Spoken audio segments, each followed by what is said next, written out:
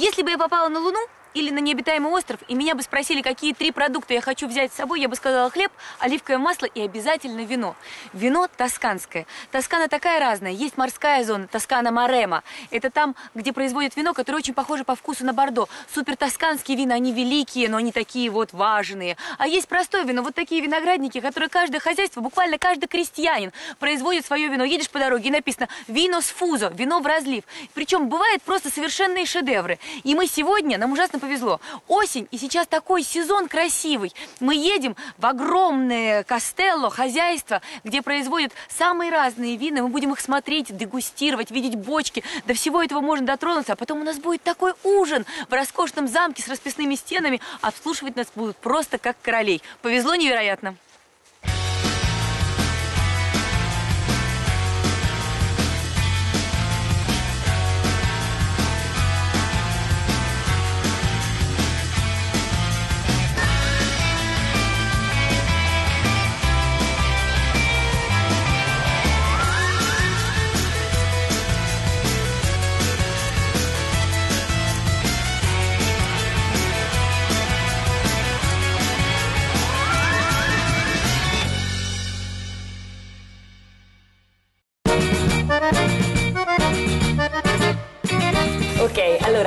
Oggi facciamo... Bentornata. Bentornata, sì, bentornati, bentrovati anche. Мы будем делать лазанью, для которой мы вчера abbiamo fatto il ragù ieri, Perché abbiamo fatto который il мы ragù сделали вчера рагу и шоколадный десерт. Итак, тесто для лазаньи. Засыпаем килограмм муки в комбайн, добавляем 20 грамм оливкового масла, 10 яиц и вымешиваем все с помощью насадки для теста. Вот такой вот крюк. Messo il sale Без соли, eh, чтобы, чтобы не впитывало масло оливковое, добавили 20 грамм. Чтобы не впитывала слишком сильно жидкость, поэтому добавляем соль. Обращаем внимание на то, сухой воздух или нет. Может быть, понадобится еще одно яйцо, может быть, нет. Сейчас будем смотреть по консистенции пасты. Затем формируем из теста шар, заворачиваем в пленку и отправляем на час в холодильник. Значит, для лазаньи нам нужна паста, которую мы уже сделали, рагу, который мы сделали вчера, бешамель, который будем делать сейчас, немножко моцарелла, немножко пармезана. Делаем соус бешамель.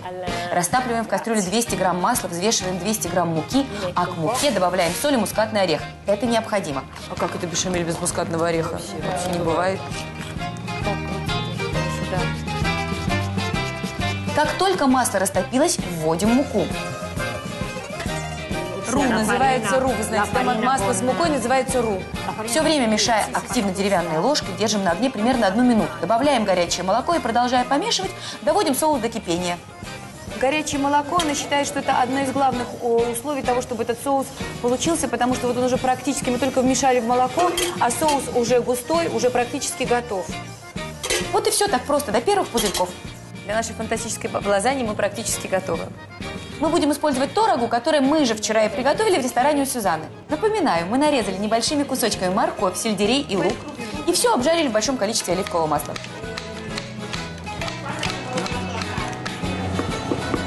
А в отдельной сковороде обжарили два вида фарша. Соединили овощи и мясо, добавили вино, очищенные томаты, томатную пасту, разведенную водой, посолили, поперчили и на медленном огне оставили томиться наше рагу около трех часов. А che abbiamo fatto ieri. вчерашний Scusa, фарш, рагу. Теперь возвращаемся к тесту. Раскатываем его в пласты. А, паста, не э, тесто не должно быть слишком тонкое, Non deve essere tanto fina. не как на равиоле. Так как паста у нас свежая, мы не отвариваем наши раскатанные пласты, а просто окунаем их на пару секунд в кипящую подсоленную воду. И вот тесто для лазаньи готово. Очень просто. Форму для выпечки слоями выкладываем рагу. Смешиваем его с бешамелем, пласты теста, моцареллу и натертый пармезан. Сделать нужно 3-4 слоя минимум.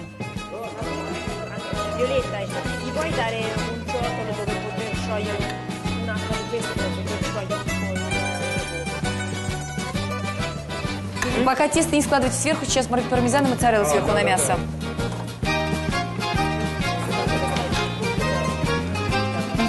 Это моцарелла такая, которая специально для пиццы приготовлена, для того, чтобы ее, с ней готовить. Это не моцарелла ди буфало, это моцарелла, с которой готовят.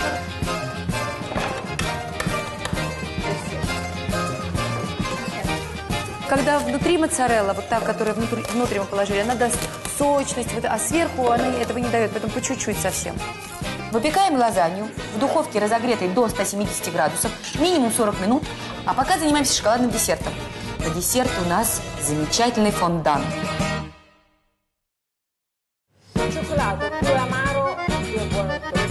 Чем гор- э, шоколад более горький, тем лучше у нас получится пирожное. Нам понадобится 500 грамм горького шоколада, 120 грамм сливочного масла, 10 яиц и 100 грамм сахара.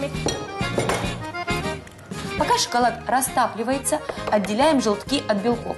Нам понадобится 10 яиц. Я всегда была уверена, что в белки для того, чтобы они взбились, не должно попасть ни грамма желтка. Но когда это произошло у нас, Сюзанна просто не обратила на это внимания. No problem, no problem. No problem. Но какие-то... Это для меня сейчас будет самое большое открытие в моей жизни. Монта. Non credo. Quello è un miracolo, io voglio Non vedere. fare l'uccello del malaugurio. Qui abbiamo 120 grammi di tuorlo. Шест- э, 120 грамм желтков нам нужно. Я сейчас, я просто, я все равно. Я Фома неверующий, абсолютно. Я, я готова стать скульптурой Родена. Как же это ну, забьется? Каким образом? Почему? Пойми, давай, давай.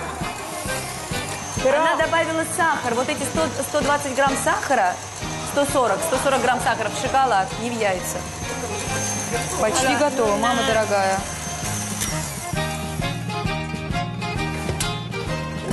È abbastanza soda. Non è sodissima, eh? No.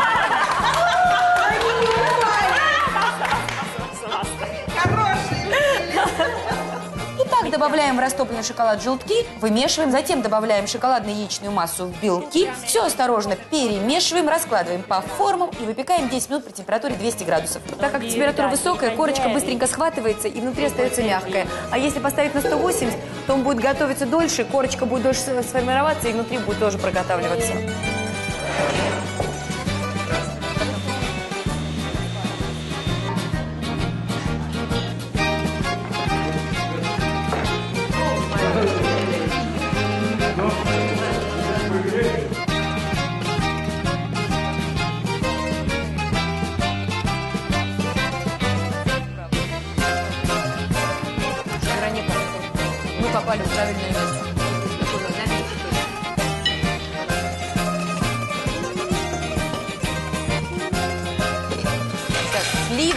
Еще.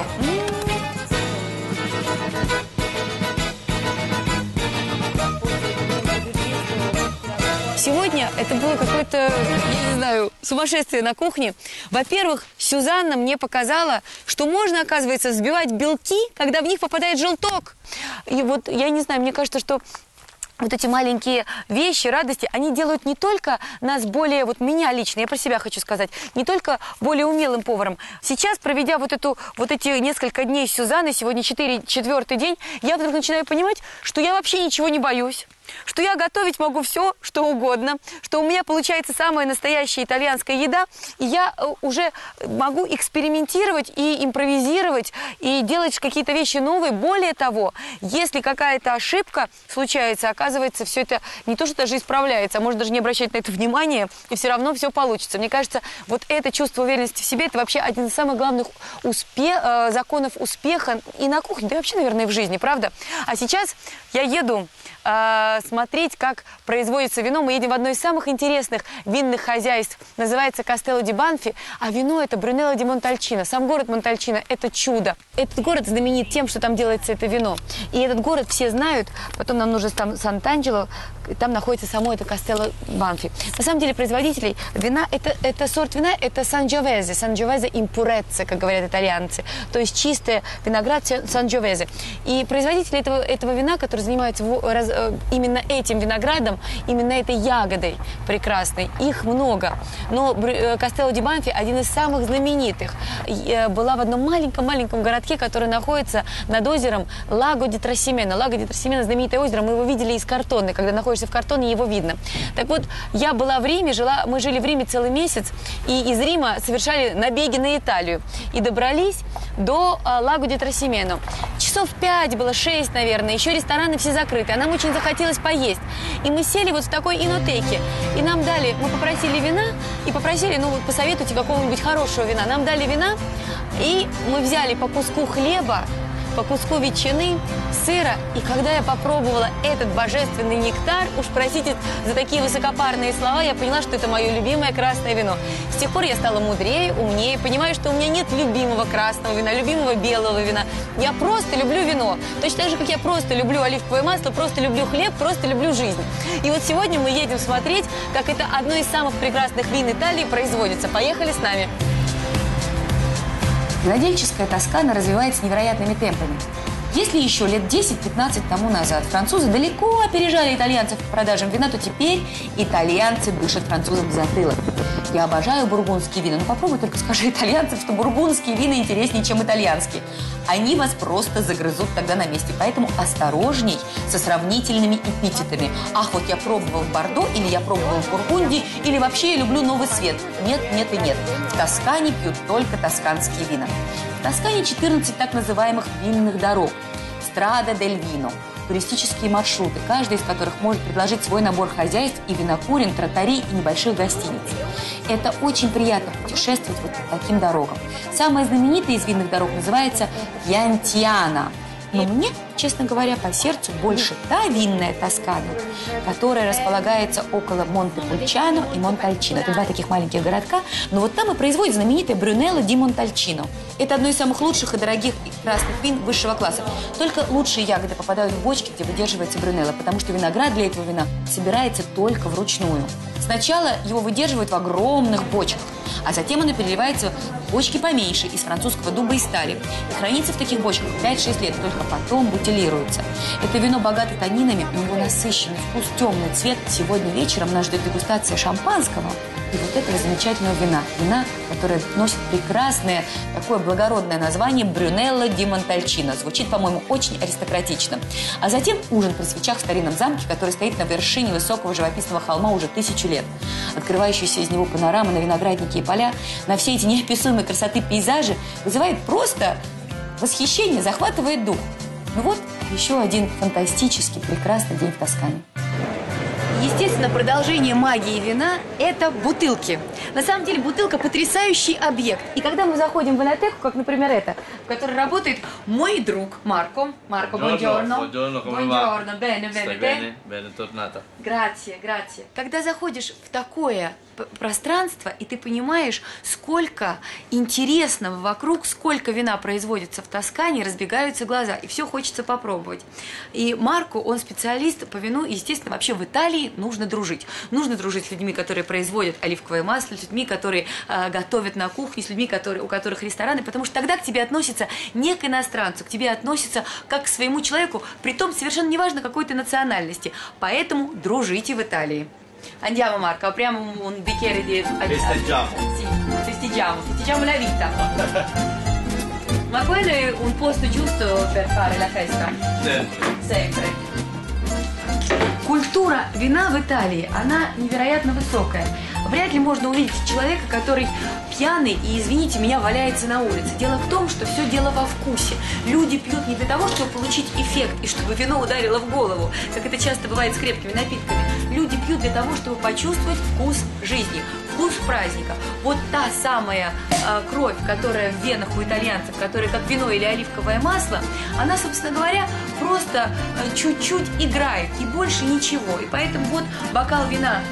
Грация. Бокал вина с таким приятелем, который очень хорошо понимает э, в шампанском, в вине, в граппе. Это просто удовольствие. Салюты. Salute. Салют. La bottiglia è stata nella forma della bottiglia perché è molto diversa perché Сладкая. normale Тут интересная бутылка. Бутылка была специально сделана для русского царя. Потому что они отказывались принимать бутылки из Франции, в которых есть глуб- глубокая выемка, где дно. Потому что могли бы туда спрятать бомбу. Они боялись, это был конец наверняка 19-го, начало 20 века, боялись терактов. И для них они при- изобрели, то есть этой бутылке больше 100 лет. Грация. Марина. Benvenuti a Montalcino.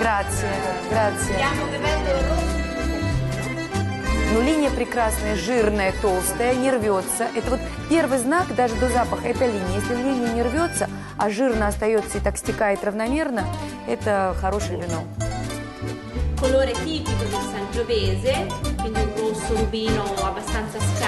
Типичный цвет для Санджовези, то есть это рубиновый красный цвет, довольно насыщенный. L'odore è molto fruttato, Фруктовый вкус, запах. Это типично для- Санджовези такие вкусы. Это те же вкусы, которые мы, вот мы сначала их чувствуем носом, а потом также мы их чувствуем во рту. Очень специи, прямо чувствуешь фрукты и специи. complesso. Сложный, сложный запах. Grazie per essere venuti. Grazie, grazie per, per, per aver, a- come, come si dice, aver, Averci riceverci,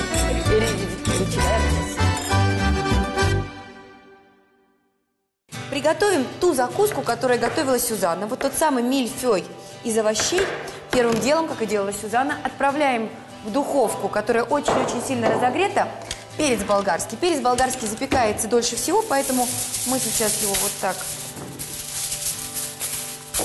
на фольгу. Духовка у меня разогрета аж 230 градусов, чтобы он запекся быстро. Можно еще поставить его подвинуть. Так, и я нарезаю тонко овощи вот такими тоненькими пластиночками. Баклажан. Вещь очень простая, но очень эффектная. Мне вообще понравилось, как это выглядит, что это не просто какой-то башенкой так выложено на тарелке, а именно, что мы делаем из этого вот такие корзиночки. Вообще, как, наверное, вы уже начинаете понимать, вместе со мной и с участниками нашего всего кулинарного вот этого вот путешествия, э, что тосканская еда, она в принципе очень простая. Простая и по набору ингредиентов, и в приготовлении, и даже подача, я не могу сказать, что... Но в то же, в то же время она очень красивая. Вот другого слова не подберешь. Просто как выглядят эти блюда, какие вот эти, эти краски, как это просто чудесно даже смотрится на противне, не говоря уж о том, какое получается красивое блюдо. Все, пока у меня овощи запекаются, будем готовить с вами перепелок. Перепелка такая а, птичка, которая либо жарится очень быстро, либо она должна жариться долго и томиться. Вот в данном случае этот рецепт предполагает, что мы эту перепелку будем готовить быстро-быстро. Вот так мы отделяем сначала ножки. И вот остается у нас вот такая прекрасная грудка. А с ножкой мы вырезаем аккуратно совершенно вот эту вот кость бедра. И, естественно, вот каркас, который остается от перепелки, его выбрасывать ни в коем случае нельзя. Из него прекрасный, чудесный бульон получается, на котором потом можно сделать либо ризотто, либо еще что-то. Ну вот посмотрите, на самом деле вот я после единственного урока у Сюзанны вот научилась разделывать и ножки, и грудку. Вот так она обжаривается, и вот так стоит красота, как в лучшем французском, даже не только итальянском ресторане. Не забыть про наши овощи. Посмотрим на них внимательно. Вот так, красота. Овощи наши готовы совершенно абсолютно. Перец. О, красотища, посмотрите. Вот так его нужно и готовить. Довести прямо до, до, до такого черного, практически горелого состояния. Все просто оставляю вот так вот в фольге закрытым и все заканчиваю с моими перепелками. Так как они у меня уже были вымыты и высушены, то теперь я просто перекладываю кусочки. Причем отделяю ножки у меня отдельно, а грудки отдельно. Обжариваем мы сначала ножки, а потом добавляем грудки. Все, перепелки у меня готовы, разобраны. И мы сейчас собираем наш мильфей. Вот наш козий сыр. Сюда столовую ложку оливкового масла, травки.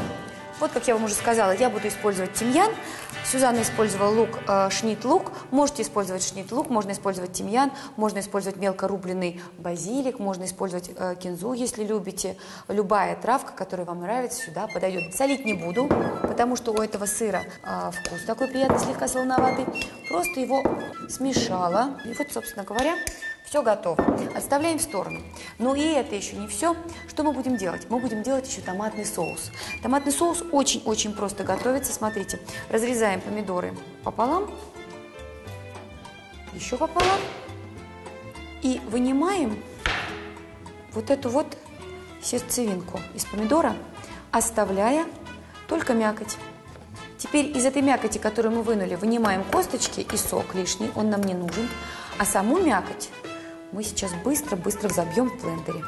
Ну вот у нас получились чудесные лепесточки из помидоров для декорации на наших тарелках с мильфей. В блендер мякоть. И с соусом все совсем просто. Просто на самом деле действительно гениально. Немного томатной пасты. Томатная паста добавляется даже не столько для вкуса, сколько для цвета. Потому что, видите, помидоры довольно бледные, а когда мы их забьем, они станут совсем-совсем светлые. Если вас это не пугает, то можно вообще томатную пасту и не добавлять. Чуть-чуть соли. Пол чайной ложки сахара. Помидоры сахар очень любят. Немножко перца свежемолотого.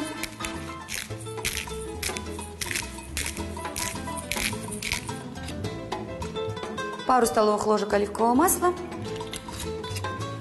И чуть-чуть малинового уксуса, буквально столовая ложка. Конечно, если нет малинового, можно использовать яблочный или винный уксус, но малиновый, поверьте мне, вот придает тонкую ноту, но ощутимую. Очень интересно получается. Это вот я у Сюзанны научилась. Чудесный однородный соус готов. Что нам осталось сделать? Нам осталось разобрать на сегменты наш перец. Смотрите. Вот он у нас полежал. О, стал вот какой сразу мягкий, нежный. И вот теперь кожура слезает очень легко и просто. Вот, просто элементарно отходит, и никаких проблем у нас с очищением перца нет. Ну все, перец почистили, а теперь самое интересное. Разрезаем перец на полоски такие. И вот уже берем форму и выкладываем теперь, ну просто в том э, порядке, в котором нам нравится, в котором нам хочется. Главное, чтобы вот оставлять такие э, кончики от наших овощей. Перец, баклажаны, морковка. Сверху сыр. Где-то столовая ложка сыра на такую формочку. И еще немножко. Вот это хорошо бы закрыть так, чтобы получилось дно вот этими небольшими кусочками овощей, которые всегда есть, наверняка, когда мы обжариваем. И потом сверху прижимаем вот эти наши лепестки на тарелку наши лепестки от помидоров. Так вот. Берем формочку, например, вот эту. Переворачиваем. Красота. Поливаем соусом. Присыпаем тимьяном. Несколько капель оливкового масла.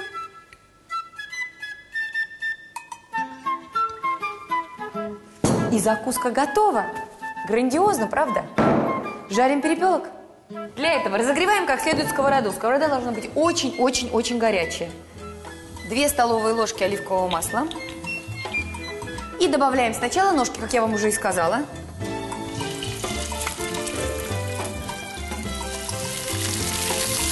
Обжариваем, естественно, до золотистого цвета. Так, теперь немножко чеснока.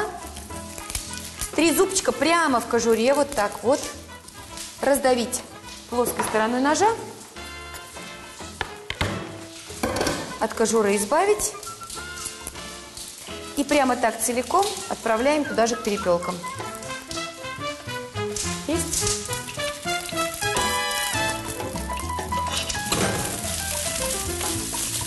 Ну вот, как только ножки стали золотистые, самое время отправлять сюда же на сковороду наши грудки. И вот теперь виноград.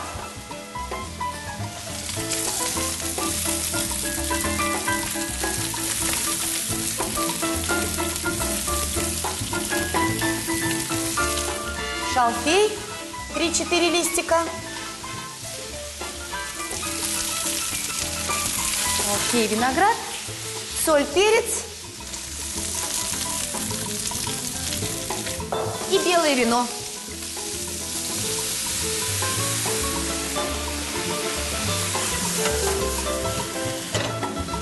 Ну вот и все. По-моему, замечательный обед получился, прямо по горячим следам урока. А наши приключения и путешествия продолжаются. У нас будет еще один урок. Мы будем готовить чудесную итальянскую еду. Потом будет у нас обед с вином, с этой красивой, вкусной едой. А после этого мы поедем в город Пьенза. Пьенза знаменита тем, что там готовят сыры. Знаменитый пикорино ди Пьенза. Мы поедем в одно из хозяйств, в котором нас ждут, и там делают сыр. Но не только. Там делают и вино, и масло. Нас ждут радушные хозяева, которые покажут нам все этапы приготовления сыра, покажут, как сыр выдерживается. Мы будем дегустировать этот сыр. Сядем за большой стол, будем пить вино, разговаривать и строить планы на следующий день.